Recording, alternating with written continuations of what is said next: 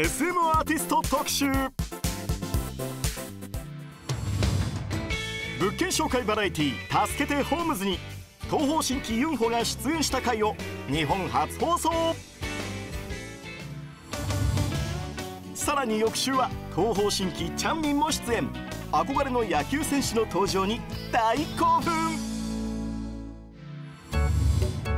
シングル男のハッピーライフにスーパージュニアのキュヒョンが登場。私生活を大公開。そしてキュヒョンはランニングマンにも登場。体を張ったミッションや寒空の下生歌を披露。スポーツバラエティー明日は子宮王には NCT 土曜が兄コンミョンと豪華共演。ウェイブイがカンウォンドの魅力を伝えるため2泊3日の旅行へ。密着リアルバラエティウェイビジョン。